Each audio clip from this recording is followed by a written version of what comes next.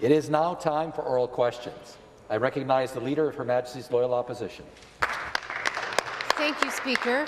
Uh, Speaker, my first uh, question is uh, to the Minister of Long-Term Care, so perhaps somebody on the government side will be able to respond. Uh, the Long-Term Care Commission report, as we all know, has been public for some time.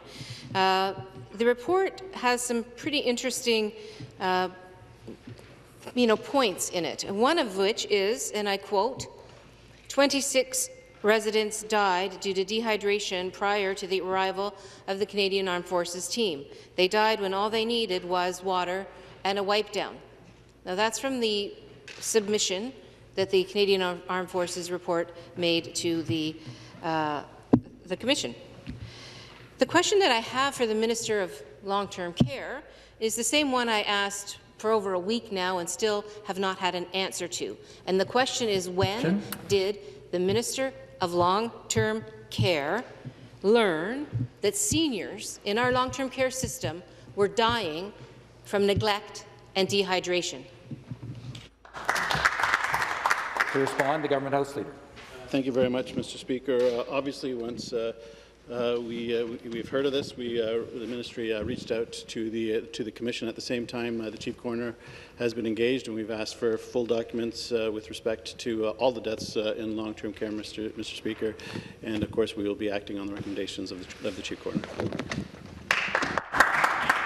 Supplementary. Well, Speaker, the Globe and Mail has a story today uh, that says pretty clearly that those 26 deaths that occurred in uh, long-term care centre in Downsview, called Downsview Long-Term Care Centre, uh, but those deaths also occurred in other homes. Uh, in fact, the CAF says this in, in their report, uh, COVID fatalities pale in comparison to deaths from other causes, like dehydration, neglect, starvation.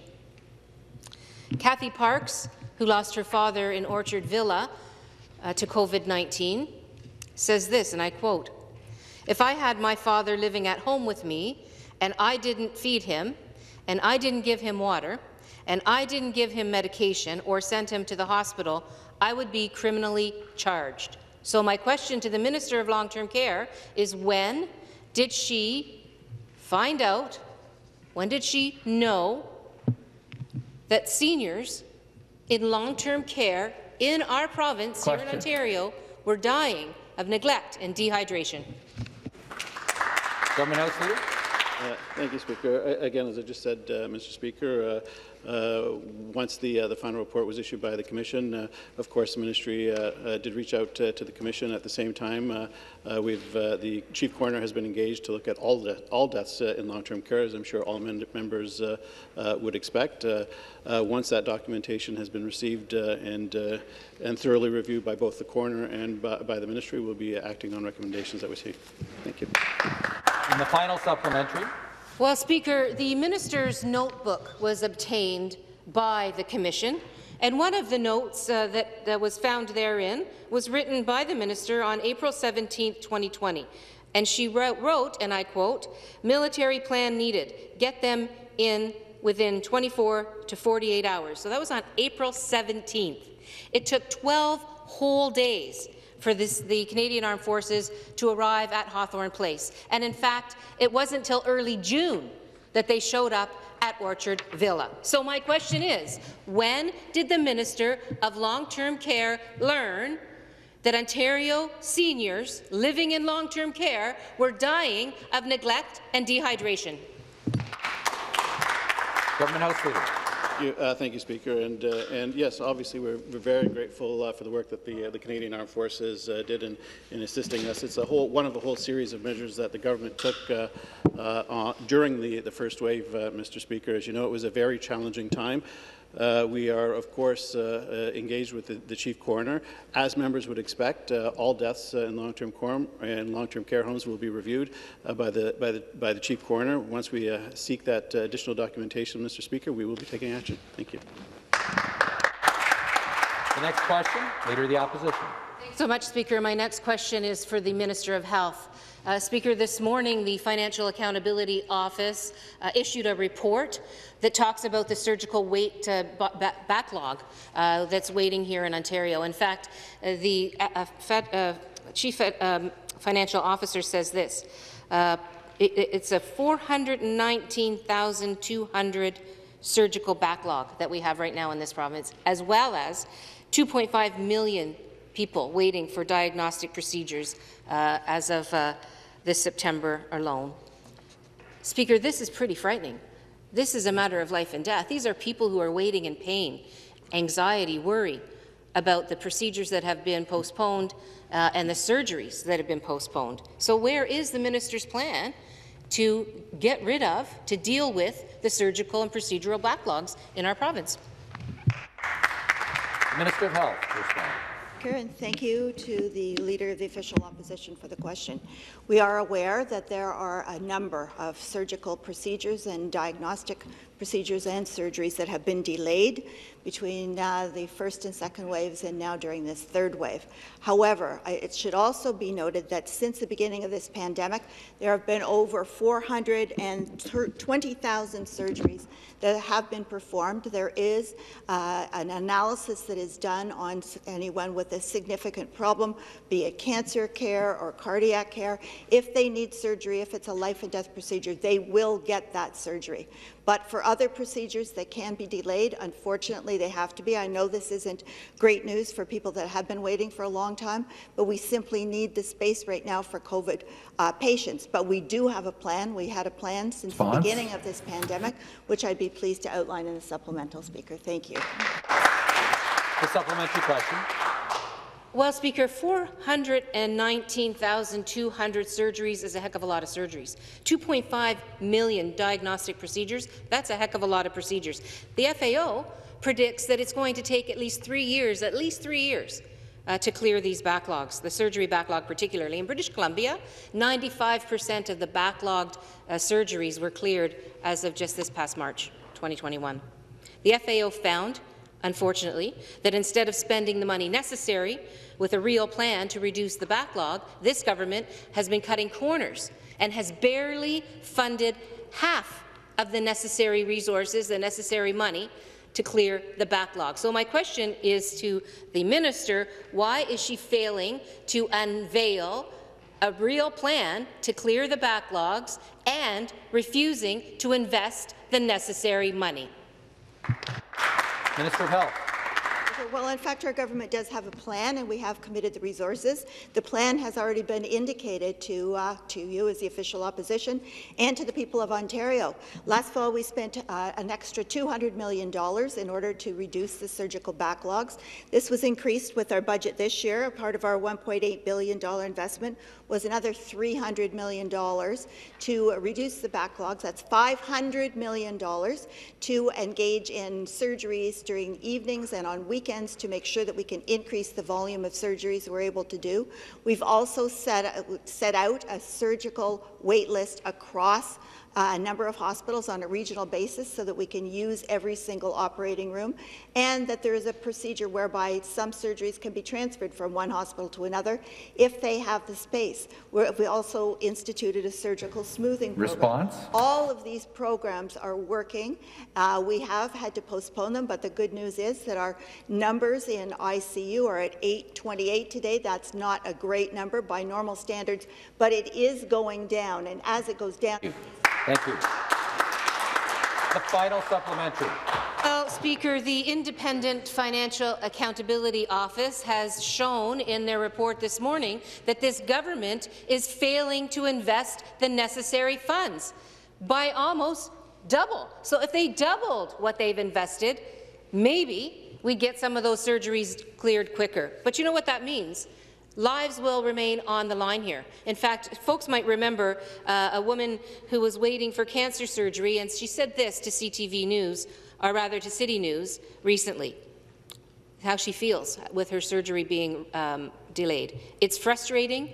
It's terrifying. The government has known for months this was happening. They uh, tabled a budget that shorted the resources necessary to clear the backlogs in surgical procedures and diagnostic procedures. When will the government Question? make the commitment to double the amount that they've invested and ensure that there is a public plan that shows how they're going to get this problem dealt with? Minister of Health. Well, in fact, last year, 88% of our hospitals uh, achieved their surgical targets using the plan that we've already set out, which we will get back to as soon as we're able.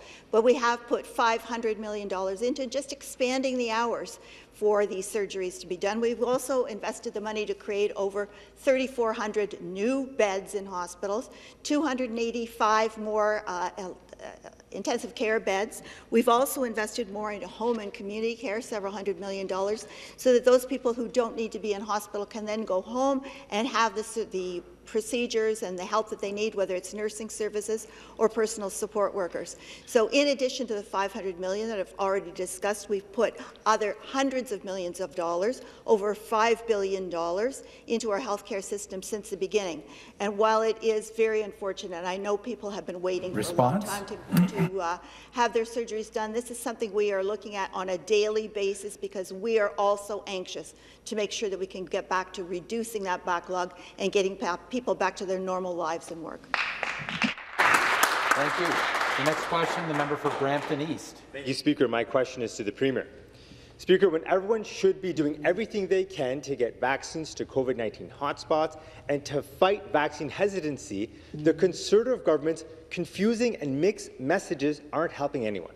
On Thursday, the Conservative Associate Minister for Small Businesses confused Ontarians by suggesting that the Pfizer vaccine, the same vaccine that Ontario has received over 4.5 million doses of, is not as effective as it could be, despite the fact that the Conservative Associate Minister represents Brampton, a city that is one of the worst hit by the COVID-19 crisis in this entire country, and where folks know they're not receiving as many vaccines as they need to protect lives. Why is the Conservative Associate Minister going out of his way to confuse people about the effectiveness of this vaccine when communities like Brampton need it? To reply, the government House Leader. I don't think uh, the minister is doing anything of the sort, Mr. Speaker. What the minister uh, uh, is highlighting, and the minister from uh, from Brampton is highlighting the fact that uh, we remain very troubled by the uh, the uh, inexcusable reluctance of the federal government to act on our borders, Mr. Speaker. Uh, we have uh, highlighted a number of issues with, uh, with borders. We have seen the variants uh, of concern which continue to come through our borders. Even this past weekend, a significant more, Mr. Speaker. this is very troubling, and we need the federal government to live up to its responsibility to secure our international borders so that as we continue to hit hotspots like Brampton, which has seen a significant increase in the amount of vaccinations that it has been getting, Mr. Speaker, uh, so that we can continue this good work, we need the federal government to simply step up and do what we have asked it to do, do what everybody is asking it to do, close that border so that we can get these variants of concern under control. And I would ask the member opposite to join with us in this, Mr. Speaker. This is certainly not a partisan issue. We should all be concerned with what we're seeing at our international borders, and I hope that he will assist us. The supplementary question. Thank you, Speaker. Back to the Premier. Ontarians are smart. They listen to the science. They respect the expert doctors who have told them to take any vaccine available to them. And they know that after this Premier and this Minister for Small Businesses failed to bring in enough paid sick days, failed to protect lives and protect small businesses, that the number one thing that they can do for themselves and their families to stay safe is to get vaccinated. But instead of encouraging people to get vaccinated, the Associate Minister is confusing people. The Pfizer vaccine isn't the failure. The failure is that the Associate Minister and the Conservative government did not get vaccines into hotspot communities like mine in Brampton. Why is the minister confusing people at this critical time when he could be protecting lives in Brampton by encouraging folks Question? to get vaccinated and by ensuring that we're getting as many vaccine vaccines as possible at this critical time in Brampton? Government House Speaker, I think if there was any failure, it continues to be a failure of the federal government uh, early on to provide us with vaccines that were needed so that we could do more in, in hotspots, Mr. Speaker. But despite that, Mr. Speaker, despite the failing of the federal government to give us the appropriate vaccines in February, March, and April, Mr. Speaker, we have been able to redirect significant vaccinations into hotspots across this province. We have vaccinated over 6 million people in the province of Ontario. If there's another failing, it's another failing of the federal government which allowed these variants of concerns to get into our borders in the first place. We have been calling on the federal government for months to close down the borders in advance of the UK variant making its way into the province of Ontario, Mr. Speaker. So I would ask the honourable gentleman, if he wants to do the right thing for the people of Brampton, if he wants to help us out in Peel, he can join with us Response? in calling on the federal government to do the right thing, to close our international borders so that we can get control of this situation, because it's not just vaccines, Mr. Speaker, it's about closing access to these variants of concerns. The next question, the member for Willowdale. Thank you very much, Speaker. And I want to pick up where the House Leader just left off because it's very clear that stricter border measures help stop the spread of COVID-19 before it even gets here. And we also know that every single case of COVID has, uh, the variants have started outside of this province. And as the Solicitor General has said previously, there are yet no COVID variants that have originated from Ontario. So, Speaker, as we begin yet another week with flights coming into Ontario's airports with potentially more variants, my question to the Solicitor General, can the Solicitor General remind this legislature why stronger measures at our borders are essential to help stop the spread of COVID-19? To reply, the Solicitor General.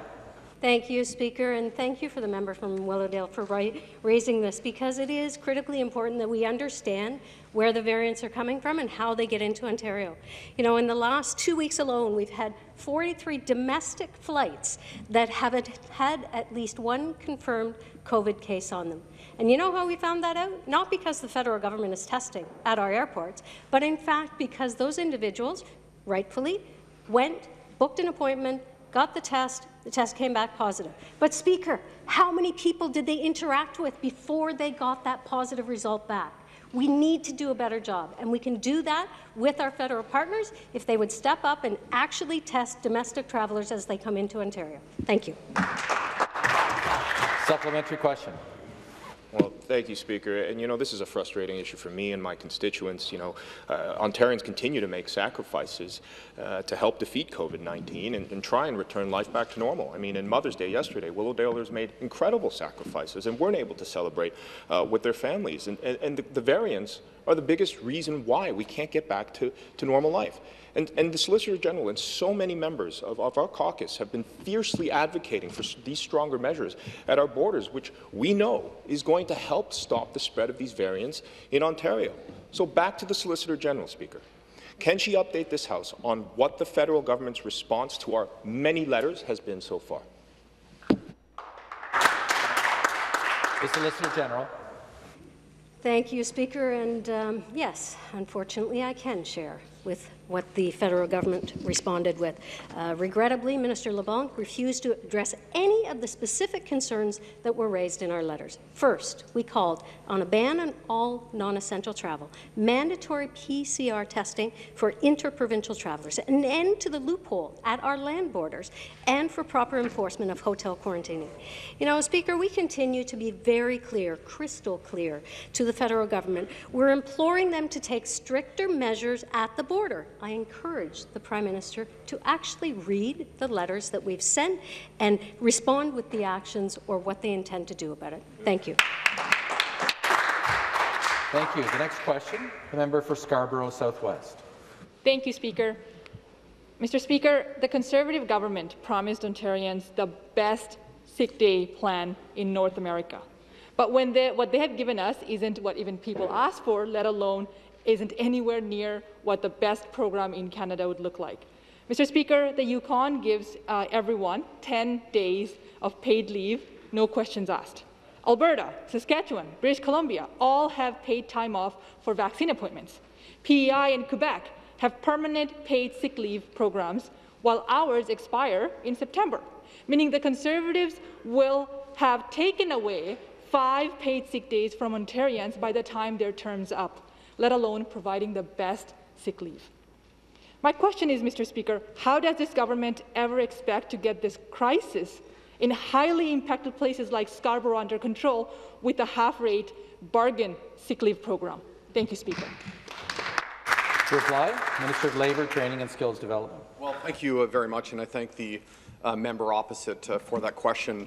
Uh, but furthermore, uh, Mr. Speaker, I thank the member opposite and all members in this legislature for supporting uh, our government's uh, uh, solution to this, to bring forward a comprehensive plan of 23 paid sick days in the province of Ontario. We committed to doubling the federal program from $500 a week to $1,000 a week and bringing in uh, three paid sick days under the Employment Standards Act. Uh, Mr. Speaker, we are the first province uh, in the country to bring in uh, paid sick days during COVID-19. We will continue to stand uh, with workers every single day and all the people of this province until we defeat COVID-19. Supplementary question. Speaker, while this government tries to deflect and distract the public and, and uses attack ads, really, and then blame the federal government or use the federal government for their excuses, the feds actually wrote back and they asked the province what, the, what they actually wanted to do. And they heard nothing from this government. So my question is again, Mr. Pre Mr. Speaker, when is this government going to stop with the desperate deflection and start focusing on measures that would actually work, something that experts have been calling for, like paid sick days plan, or an actual support program for businesses and workers that actually help these people instead of shutting down businesses and, and that this government is dropping the ball on the vulnerable people of this province and our local businesses across this province. When will this government step up and act? Thank you, Speaker. Minister of Labour. Well, uh, Mr. Speaker, uh, we are the very first province in Canada to bring forward uh, sick leave during COVID-19, a comprehensive uh, package of 23 uh, paid sick days to help uh, workers and their families get through this pandemic. Mr. Speaker, all members, including the member opposite, supported our legislation. I'm proud to say that we passed this uh, bill in, in, record time, about three hours, Mr. Speaker. So I thank uh, the members of uh, the NDP and, and, the Independent Liberals for supporting uh, this legislation. But, Mr. Speaker, the federal government has said to us, how can we help? We've got two requests. One, double the uh, four weeks of paid sick leave from $500 a week to $1,000 a week. And secondly, Mr. Speaker, secure our borders, secure our airports, stop the variants of concerns from entering Ontario. If the federal government wants to be a partner, do those two things. Response. Thank you. The next question, the member for Ottawa South. Thank you very much, Mr. Speaker. This morning's story in the Globe and Mail about deaths from dehydration in Ontario's long-term care homes is pretty deeply disturbing to all of us. And it's been almost 10 days since the Commission released its report and the government has failed to commit firmly to any of the recommendations in it. I think it's clear to all of us that immediate and sustained action needs to happen. So my question is simple. Through you, Speaker, will the Premier commit to implementing the 85th recommendation of the Long-Term Care Commission's final report, requiring the government to table a report in the legislature outlining the progress they've made to implement the remaining recommendations in the report one year from now, and again in three years from now? A simple answer, yes or no. To reply, Government House Leader. Uh, thank you very much, uh, Mr. Mr. Speaker. I appreciate the, the question. Obviously, we uh, take uh, the report very seriously. That's why I would expect the honourable member uh, would expect us uh, to take a look at all of the recommendations, Mr. Speaker, and, and give them the, the, attention that they deserve. I think what would have been helpful, Mr. Speaker, if had over the 15 years of the previous Liberal government, that's four separate Liberal administrations, had they paid attention to long-term care, had they built long-term care, had they rebuilt some of those, uh, those long-term care homes that were so desperately in need of, uh, of upgrading, had they worked on a staffing strategy, uh, Mr. Speaker, had the Liberals done that for the 15 years and four administrations that preceded ours, we would not have been in the unfortunate position of having to play defense for a full year. But, Mr. Speaker, right now we are on the offense in the province of Ontario. Over 6 million vaccinations Response? doses into people's arms. We're attacking uh, COVID directly in the hotspots. We're going into essential workplaces, Mr. Speaker. The Minister of Labour has brought in uh, a sick day regime, Mr. Speaker. We need the federal government to do its part, secure our borders, and we can put this behind us once and for all. The supplementary question. Well, it, Speaker, it's the easiest recommendation in the report for the government to enact right now. I don't know why we couldn't get a yes or a no. And last week, when talking about long-term care, the Premier said, and I quote, it was a tragedy, but we're going to fix it. This will never happen again. Never happen again. However, one year ago, the Premier also said an investigation had been launched into the report of the Canadian military. And we found out last week that investigation was never launched. Nothing was ever turned over to police. And then we read in the Globe this morning. And a spokesperson for the Ministry of Long-Term Care says that could be criminal. Year later. Currently, there's no legislative requirement for this government to enact Recommendation 85. This afternoon, I'll be putting forward legislation Question. that will require the government to enact Recommendation 85. Simple question, will the government support that legislation, yes or no? Another simple question. Government House Leader. Uh, thank you very much, Mr. Speaker. As I said, uh, we will do uh, what's right by uh, long-term care in this province, Mr. Speaker, unlike the previous Liberal government, which he was a member of, Mr. Speaker. Now, there were four previous Liberal administrations in advance of ours, Mr. Speaker, over 15 years. And the record of that previous Liberal government put us on the defense for much of the first part, for the first year of this pandemic, whether it was ICU capacity, which they did nothing about, whether it was a staffing strategy for our long-term care homes, whether it was rebuilding long-term care homes that were in desperate need of renovation and upgrading, whether it was adding more long-term care beds, Mr. Speaker. On every single account, the previous four Liberal governments over 15 years failed the people of the province of Ontario. We moved quickly, Mr. Speaker, before the pandemic, whether it was a staffing strategy, whether it was to build thousands of uh, additional long-term care beds, whether it was increasing ICU capacity, increasing Response? testing from 5,000 to 75,000 a day. We are on the offense to put this behind us once and for all, Mr. Speaker. We need the help of the federal government on our borders, but Canadians and Ontarians are on the Thank you. The next question, the member for Willowdale. Uh, Thank you, Speaker. From the beginning of this pandemic, our government has always put the health and safety of Ontarians as our number one uh, priority, and, and that's what we continue to do. And, Speaker, the people of this province continue to do their part, yet they are unnecessarily put at higher risk because of the lack of border control, Speaker, the higher risk coming into our country, into our province, from these dangerous variants from uh, travelers, both internationally and domestically. Speaker, we have all heard the success around other places in the world, like New Zealand, and how they've managed uh, to, to fare COVID-19 by restricting travel. My question is to the Solicitor General. It was very disappointing to hear that our letters had little uh, response or good response from the federal government. So my question is, what other steps is our government taking to urge Ottawa to finally get serious Question. about protecting our borders? The Solicitor General. Thank you, and thank you again from the member from Willowdale. I know that this is an important issue for your constituents and your community, but it is for all of Ontario. Since December, Premier Ford has been urging the Prime Minister to take stronger actions at our border. That's why Ontario has the first jurisdiction to actually implement on-arrival COVID testing for international travellers, leading the federal government to take the action on this front. We also took the unprecedented step of closing the Manitoba and Quebec uh, borders, land and water, with the provinces. As the member will know, we have sent Order. three separate letters to Minister Blair and the federal government asking them to take action to protect Ontario citizens. Unfortunately, the response we received from the federal government has said they still refuse and will be continuing to ignore uh, taking Response? action to limit international travel. Completely unacceptable, Speaker. Supplementary. Well, thank you, Speaker, and, and it's truly frustrating to, to hear the federal government's lack of, of action to protect our border, Speaker, and my constituents are extremely frustrated also. Uh, to paraphrase one of my constituents from the other day, these variants are not swimming into Ontario. Speaker, we know these variants of concerns are now the dominant form of the virus in our country.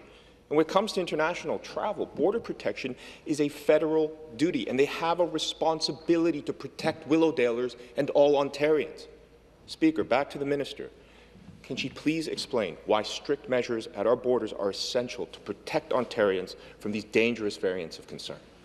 The Solicitor General. Thank you, Speaker.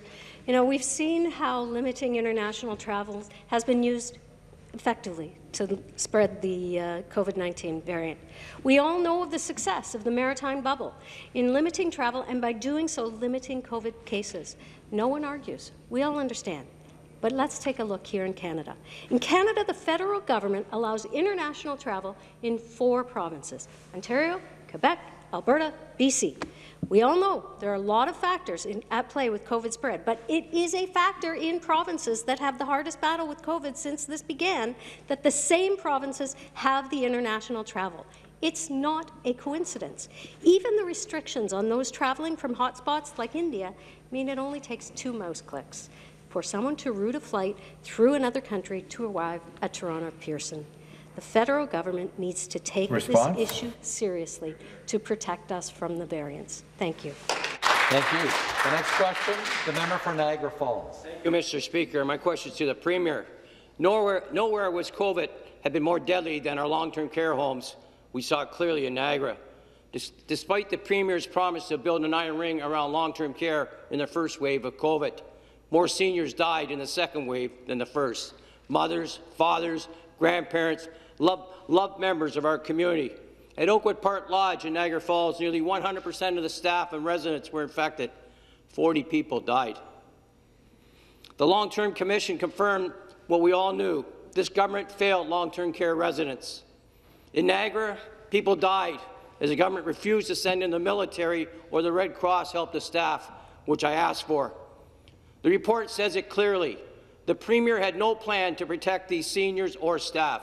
Speaker, will the Premier admit he failed long-term care residents and staff and admit that Niagara was left without proper government support and immediately implement the Commission's recommendation? Government House Leader. Speaker. Uh, as I said on a number of occasions, we'll certainly take a, be reviewing all of the uh, the very important recommendations uh, that came through the uh, the Commission report. Mr. Speaker, I think uh, honourable members on both sides of the House would expect uh, uh, nothing, uh, nothing less, uh, Mr. Speaker. But as I said on a number of occasions, we certainly were faced with uh, some challenging situations when we inherited government after four previous uh, Liberal administrations, which had not uh, done the work needed to uh, uh, invest in our long-term care homes, whether it was a staffing strategy, Mr. Speaker. We know staff was leaving, but we didn't know why they were leaving. Was it pay? Was it other issues? Our homes were in disrepair. They had made no no progress on, on helping on that file. There was wait lists, uh, multi-year wait lists in many homes because the Liberals simply did not invest in new homes, Mr. Speaker. We took action right away in advance, Mr. Speaker. We knew. We knew that more had to be done in long-term care. That's Response? why we made investments almost immediately to upgrade our long-term care homes, to build thousands uh, of new homes, Mr. Speaker. We are making progress on the file, and I think members would expect nothing less. Supplementary. Thank you, Mr. Speaker. We saw how much our, more deadly the second wave of COVID was in Niagara. Despite this government's having time to prepare their promise to protect seniors and staff in long-term care facilities. Long-Term Care Commission report showed us that 26 seniors died of neglect, desperately needing water, and a wipe down. Think of that. They died because they couldn't get water. Water. The Premier promised an investigation into these deaths. Now he says he won't launch one. Like the Iron Ring he promised, his investigation was a myth. He wouldn't commit to implement the recommendations in the report either. Enough of blaming others. Thousands of seniors have died under this government's watch. This Premier and his government failed the residents of Ontario. Speaker, will the Premier fully and immediately implement all of the recommendations in the Commissioner's report? Will he ensure, will he ensure Question. homes are properly staffed and no other senior dies in the richest province in Canada because they couldn't get water? Government House Leader. Again, Mr. Speaker, I think the honourable member will agree that significant progress has been made, and he's absolutely correct uh, that uh, this uh, this province was left in a very challenging situation after four previous Liberal administrations and the lack of investment that we saw in them, Mr. Speaker. Uh, that is why this government has committed to uh, four hours of, uh, of care. It's a multi-billion dollar investment, Mr. Speaker. I, I, I suspect individuals don't care how much it, it costs; they just want to ensure that it gets done. That's why, in addition to that, we're going to be hiring 27,000 1,000 additional PSWs. We heard from, uh, from, uh, from the PSWs themselves in advance of the last election that they wanted an organization to, uh, uh, uh, and, to cover and to allow them to advocate for themselves. That is before the House right now, Mr. Speaker. We are building thousands of new homes across uh, the province. We've increased infection uh, prevention and control measures. The Response? move to Ontario Health Teams is another significant, significant milestone and breakthrough in how we can ensure that our homes stay safe. So the member is right. Work had to have been done over the last 15 years of the previous four Liberal administrations, but we're getting it done. The next question, the member for Don Valley West. Very much, Mr. Speaker. My question is for the Premier. Uh, one of the undeniable impacts of the COVID pandemic is that women have been disproportionately affected. Everyone has experienced major isolating changes in their lives, but women working with the elderly, holding the front line in businesses deemed essential, caring for babies, working at their own jobs from home, and homeschooling their children have often carried a double load. So much so, Mr. Speaker, that thousands of women have actually left the labour force in order to manage the demands of their families. This is a reality, uh, and, that, and the economic downturn brought on by COVID has been called the she-cession by some economists. It's the reason that if we are to successfully recover as a society, we need to recognize that we must foster a she-covery. The most important thing that we can do is make sure that women can re-enter the workforce when they're ready to do so, and have someone to look after their children. Speaker, the federal government has offered to invest in childcare across the country to enhance and build on the services already available in provinces and territories. Will the Premier work with the federal government to ensure that every family in Ontario who needs affordable childcare for their children will find it in their own community? To reply, the Associate Minister of Children and Women's Issues. Thank you, uh, Mr. Speaker, and thank you, the member, for that question. Obviously, it's one that we uh, hold near and dear to our heart as well. Ontario is committed to building an affordable childcare system that is flexible and responsive to the needs of families and um, you know, very unique families. And I can tell you from every roundtable that I've heard, I always heard from women about the issues and barriers that childcare face. So it is very important to us. We hope that the federal government will significantly step up their funding to advance affordability while agreeing that parents need a flexible system that responds to their preferences on how to raise their children as we know, a one-size approach does not fit all. We look forward to reviewing the details of the plan, and as we have done before, our government is again providing direct relief to families to help offset additional costs incurred as a result of the pandemic, and payments to parents through the Ontario COVID Child benefit being Response? on April 26 to help working parents of students age 0 through grade 12 will direct, with direct financial supports during the pandemic. Thank you. And the supplementary question. Thank you very much, Mr. Speaker, and I appreciate the, uh, the, the, minister's answer. Um, Speaker, between 2008 and 2018, our government built 200,000 childcare spaces, and the number of children in licensed childcare in Ontario doubled in that period. Ontario Liberals have put forward a plan that would partner with the federal government to build on that progress and provide licensed affordable childcare across Ontario. And licensed childcare can be flexible, to the minister's point. It can be home-based, and with the support of the federal government, it can be affordable for every family. Speaker, I suspect that there's an ideological antipathy toward childcare in this government. We saw that on display during the last election when the leader demonstrated that he knew nothing about how childcare operated on Ontario. But, Speaker, the need to address this issue is more acute than it has ever been. COVID demands that we recognize the labour market participation by women will not recover without a new commitment to childcare. I ask again whether this government will put aside that ideological opposition and develop a process Question. to work with the federal government to make sure that childcare is available to every family who wants it and needs it in Ontario. And to respond, Minister of Education. Uh, thank you very much, uh, Mr. Speaker. Thank you to the member opposite for the question. Uh, just building off, my colleague indeed will work with the federal government. We all aspire to make childcare accessible and affordable and flexible for working parents in the province. However, we, uh, as we reflect and look back, it is it must be noted, Speaker, that Ontario under the former Liberal government had the second highest, and most expensive childcare system in the nation. It's not a program we seek to emulate. We have chosen to directly support parents with the childcare tax credit. We topped it up in the most recent budget by an additional 20% of one-time support, given the unique challenges facing parents, especially women, given that their uh, difficulty re-entering the labour market as a consequence of the disruption of the pandemic. We've increased supports in the childcare system. There's over $2 billion being expended every single year uh, with a plan to build 30,000 spaces within our schools. Last year, 16,000 spaces were created within the childcare market. We know there's more to do. It's why in our budget we increase supports, and we're going to continue in collaboration with the federal government to work with them to make childcare more accessible for all Ontarians.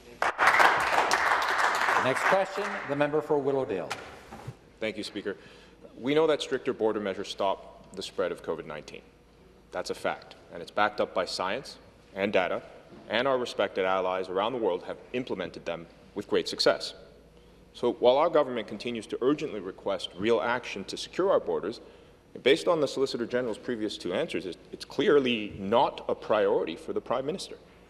What's even more disappointing, what's frankly astonishing, Speaker, is to see that the Liberal Party leader, Steven Del Duca, and his party are more interested in defending their federal cousins than taking time to stand up for Ontarians.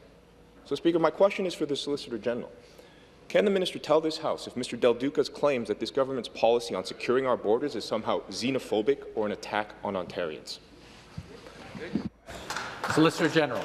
Thank you very much, and I appreciate the, uh, the interest and the back and forth because I think this is an important issue for all of us to appreciate and understand. We know from aviation statistics that the vast majority of air travelers to Ontario are, in fact, domestic travelers. During March of 2021, our hardest hit month so far in Ontario, more than 21,000 travelers passed through the Ottawa airport alone, which we know only accepts domestic travelers. To give you an idea of how many people that is, it would be the equivalent of the city of Brockville passing through the airport in just one month. Speaker, do you know how many of those travelers were required by the federal government to get tested? Zero. None. It's shameful that anyone, let alone the leader of a party, would make this about race. Perhaps Mr. Del Duca should spend less time standing up for his federal cousins and spend some time Response? standing up for Ontarians. And the supplementary. Well, thank you, Speaker, and I, I appreciate that response from the minister because I agree this has nothing to do with race, and it's unfortunate to hear the Liberal members heckle during uh, the question about this very important issue, Speaker. Because I think all Ontarians have made incredible sacrifices, and Ontarians also know that after over a year of the pandemic, there should be some sort of safeguards put in place. So why won't Mr. Del Duca join us in asking his federal co- cousins to protect the borders here in Ontario? It's a simple request. So, Speaker, back to the minister. Is there a reason to be concerned about travellers, even from within our country? Solicitor General. That would be an emphatic yes, Speaker. Ontarians are frustrated. They're doing their part and they're following public health advice. Meanwhile, Mr. Del Duca's federal cousins refuse to act even after three official requests for action. Premier Ford has repeatedly asked the federal government to step up and do the right thing. We need to ensure that our borders are secure. Did you know that a population larger than the entire city of Kitchener passed through Pearson Airport in February alone? The vast majority were not even required to take a PCR test. Does Mr. Del Duca's party think that the most travelers should not be tested? Or will he and the members opposite join us in calling the federal government to implement PCR testing for all air travelers? Or will they continue to their, spending their time standing up for their federal cousins instead of doing what's right for the people of Ontario? Thank you. Thank you. The next question, the member for Sudbury. Thank you very much, Speaker. My question is for the Premier. Speaker, on Friday, April 30th, the Minister of Colleges and Universities released a statement that said, I'm quoting here, the government's priority is to maintain a northern and bilingual midwifery program. And that got a lot of traction in the news and on social media, and many people reached out to my office to say that Laurentian University's midwifery program had been saved. However, shortly afterwards, a ministry spokesperson clarified that the province was not saying it would be able to preserve Laurentian's midwifery program, but that it would be making efforts. And they provided zero information on how that would happen. Speaker, that was a cruel joke to play in Northern Ontario. Will the Premier commit today to ensuring that a tricultural bilingual midwifery program in Northern Ontario will exist this fall? Member for Northumberland, Peterborough South, and Parliamentary Assistant. Thank you, Speaker. And, and, Speaker, yes, we remain committed to these programs in the North. That's why, Speaker, as the Premier and, and Minister have said, we've worked with impacted students, the 10% affected by the CCAA proceeding, to ensure pathways to graduation, worked closely with institutions to ensure midwifery programming remains in the North, uh, bilingual, remains in the North for students to graduate and practice uh, their practice within the North. And we'll continue to do that, Mr. Speaker. Thank you. Supplementary. Thank you, Speaker, and back to the Premier. Speaker, for nearly two decades, Laurentian University's physics department graduated 15 radiation therapists each and every single year. These are the students that go on to operate the machines used in radiation therapy for cancer patients. However, Speaker, because the Premier failed to protect Laurentian University from the CCAA process, the medical physicists who provided training in radiation therapy have lost their jobs. This means that the four-year program to train radiation therapists in Northern Ontario no longer exists. According to the CBC, the Ministry of Health has referred questions about this to the Minister of Colleges and Universities. Then the Ministry of Colleges and Universities referred it back to the Ministry of Health. Speaker, the midwifery, midwifery and radiation therapy for cancer patients are two programs essential to healthcare in Northern Ontario. Will the Premier do the right thing and commit to saving these programs in Northern Ontario? Parliamentary assistant. Uh, thank you, Speaker. Speaker, our government's been clear uh, from day one. Our universities, our colleges, our universities are autonomous institutions governed by their own board of uh, directors, Mr. Speaker. When one asks to go before a judicial proceedings, the CCAA, uh, we respect that. We respect the independence of that process. What we've done is we've ensured that students have a pathway to graduation, Mr. Speaker. We've ensured that we have midwifery programming in the North thanks to additional investments from this government. We've expanded French programming in the North thanks to investments from this government. We've seen it with NOSM. We've seen it with Hearst, Mr. Speaker. But what's really deeply concerning from the member opposite, he wants politicians to interfere in what autonomous university, what courses they offer. He wants politicians to interfere in, in legal uh, court proceedings, Mr. Speaker, and it's, it's, it's chilling, really. That's why that party opposite has only had one opportunity to govern, Mr. Speaker. If he wants to interview for Minister of Thought Bonds. Control, Mr. Speaker, that's up to him. But this government's going to respect the independent proceedings, and we're going to support our students in the North. Thank you, Speaker. Thank you. The next question, the member for Orléans. Uh, thank you very much, uh, Mr. Speaker. My question's uh, for the Premier. Mr. Speaker, uh, the Premier and his party have launched attacks against the federal government that are xenophobic and outrageous. They're claiming that it's the federal government failure at the border that is the cause of all of our COVID-19 problems. The Premier has said he wants to see fewer people enter Ontario, but he won't tell us who. Okay, just a sec. I need to be able to hear the question. Member for Orléans has the floor. Uh, thank you, Mr. Speaker. The Premier has told us that he wants to see fewer people enter Ontario, but he won't tell us who. Does he want to stop truck drivers from delivering essential goods? Does he want to stop doctors and nurses from crossing the border to work at hospitals? Does he want to stop the 30,000 international students that were accepted into our publicly funded uh, universities, Mr. Speaker? Now, today the government claims that they're talking about restrictions on domestic travel, and they've closed the borders Question. with Ontario and Quebec. And since they're doing such a good job at domestic travel restrictions, Mr. Speaker, perhaps the minister can tell us how many people traveled from Gatineau into Ottawa this morning. Solicitor General. I'm, I'm shocked, Speaker. I, I, can't believe the member opposite has not been listening to the back and forth about what we have been doing and what we will continue to do. To be clear, we want to stop the variants of concern coming into Ontario. That is what is going to protect us. That is what is going to give us the time to vaccinate enough people to protect our citizens. If the member understood that the vast majority of positive cases right now are actually variants that originate from somewhere outside of Ontario, perhaps he could work with us and our federal partners to do the right thing and close the borders, test people, and get the hotel, the land and water um, loopholes solved. That would be productive use of your time. The supplementary question. Thank you, Mr. Speaker. Just to be clear, the minister doesn't know how many people traveled from Gatineau to Ottawa this morning, despite the fact that there's an interprovincial uh, restriction. The province is on lockdown. Thousands of new COVID-19 cases every day, over 800 Ontarians in critical care. Schools and outdoor recreation remain closed, and a lack of centralized booking has led to a scramble to find uh, and receive vaccinations. But instead of focusing on solving these issues, Mr. Speaker, instead, instead of spending their time getting vaccines into arms, advertising about vaccine hesitancy, Order. the government is focusing their attention on blaming others. They're not advertising about stopping the spread of the virus. They're not advertising to combat vaccine hesitancy.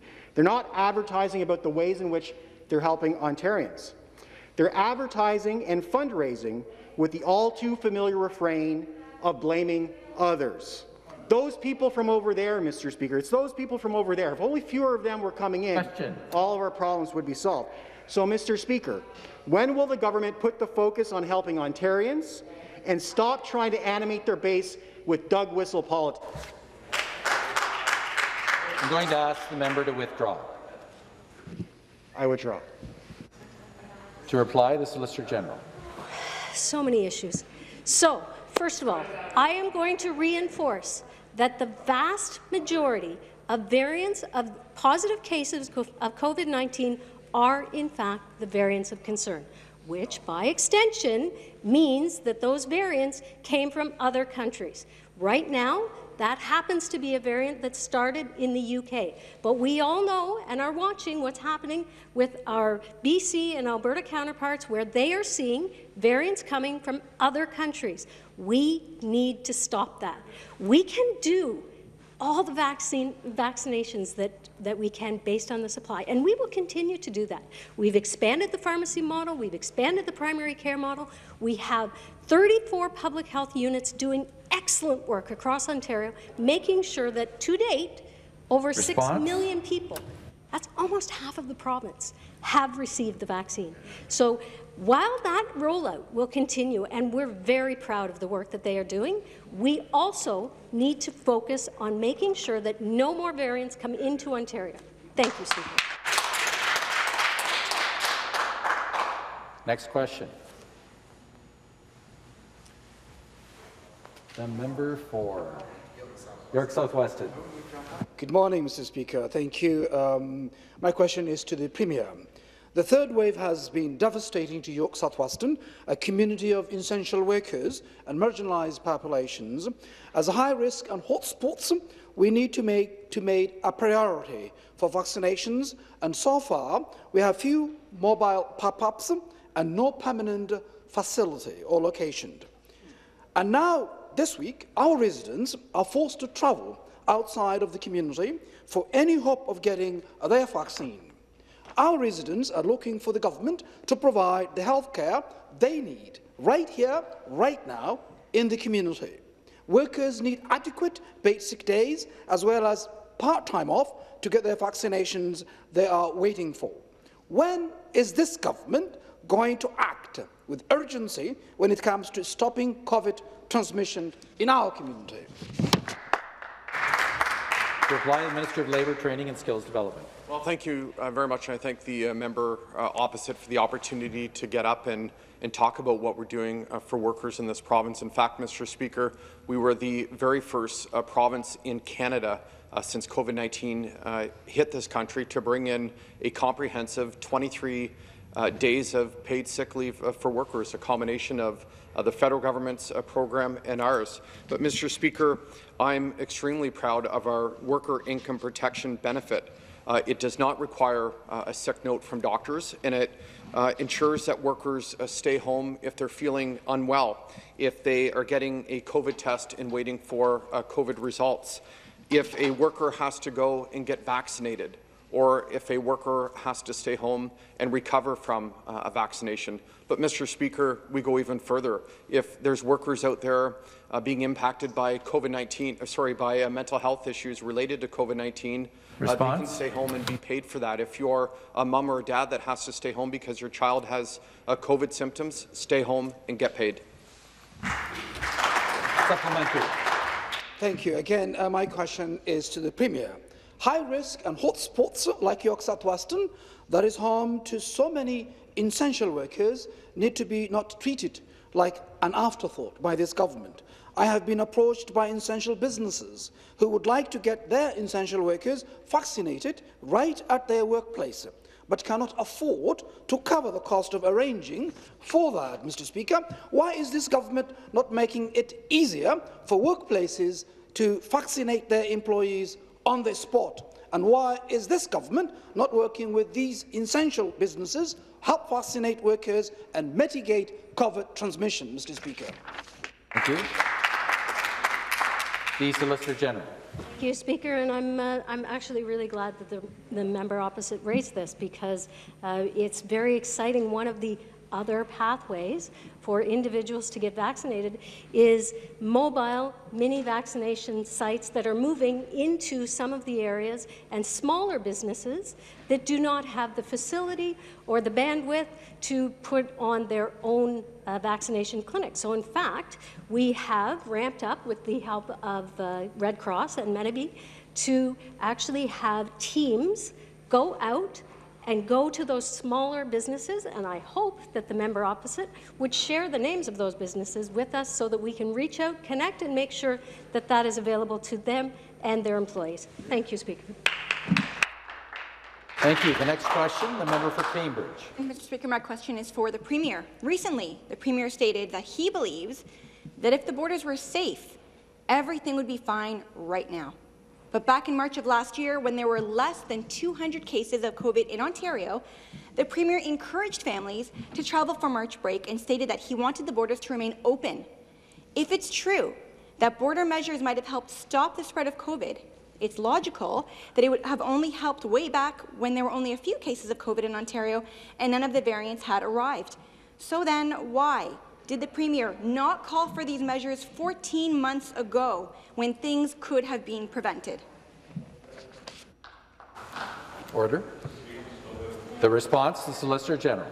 No, the, the member opposite raises an important um, piece of information, and that is the more that we learn about COVID-19, how it spreads, why it spreads, where it's spreading from, the more we can protect people. And it is absolutely critical as we understand more about COVID-19 that we continue to learn, that we continue to pivot, and we continue to put more uh, additional enforcement in. You know, I, I, would remind the member that it was actually Premier Ford and our government who started testing international visitors in uh, the beginning of this year because, you know, we, we all remember that long-term care home in Barrie that was devastated because of one person who was carrying the variant from the UK, infected, and then unfortunately devastated a long-term care home. When we learn that Response? information, we have to be able to react quickly to ensure that uh, others are protected. And that's what we've done by, by uh, asking for additional border restrictions and putting imposing more border restrictions on Manitoba and Quebec. Thank you. Thank you. Supplementary question.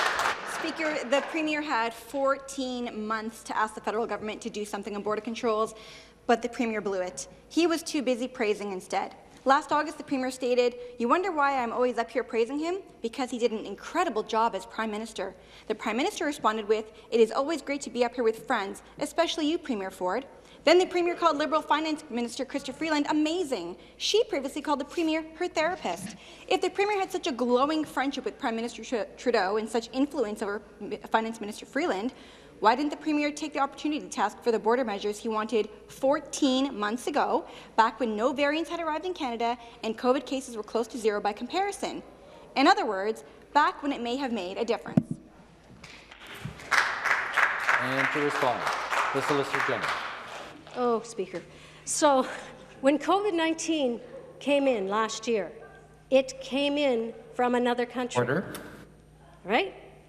The variants came in from another country. We look at what the maritime bubble did. It was a very successful model. They protected their borders. We've done that. We proactively, when the federal government wasn't testing international visitors, we stepped up and we did that. Now, to their credit, the federal government, after a number of weeks, did actually take over PCR testing of international visitors. All we are asking for is that they do the same for the domestic visitors because we have those essential people coming into Ontario, we have citizens returning to Ontario, and all we want to do is protect them to make sure that we don't have more spread and a fourth wave. Thank you, Speaker. Next question, the member for Brampton North. Thank you, Mr. Speaker. My question is to the Premier. Speaker, last week I wrote a letter to the Minister of Finance highlighting some concerns on the state of our auto insurance system in Ontario and in Brampton North. I wrote how in Ontario we pay some of the highest auto insurance rates in the country, twice as much as our neighbours in Quebec pay on average.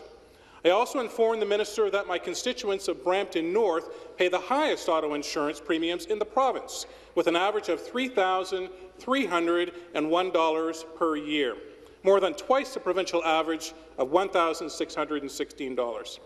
We also know there have been fewer drivers and fewer accidents on the road during this pandemic.